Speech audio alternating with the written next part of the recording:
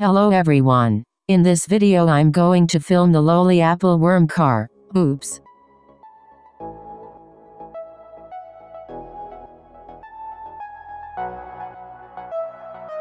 Sorry about the silly mistake I made earlier. This is the second version of the Richard Scarry Lowly Worm Apple Car Kiddie Ride that was manufactured by Jolly Roger in 1998. The second version of the ride used a Soundmaster board while the first version which was released in 1995 used a Stammer board. Let's get into the film of the kiddie ride of the iconic Apple car.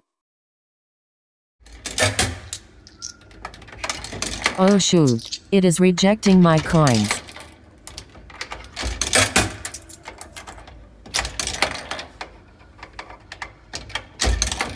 Sigh.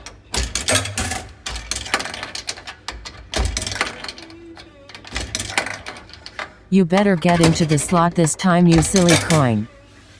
Finally, we got all the coins into the slot.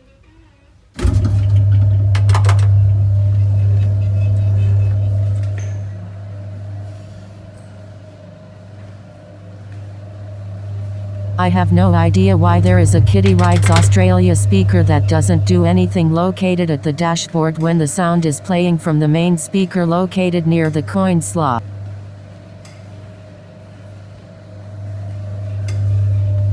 Although the volume is low, I'm happy with this find as the second version is very hard to come across compared to the first version.